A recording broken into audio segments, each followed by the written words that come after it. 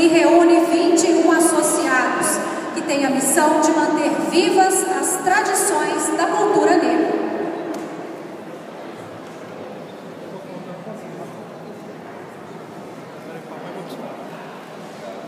Passa aí para vocês, vamos lá mais.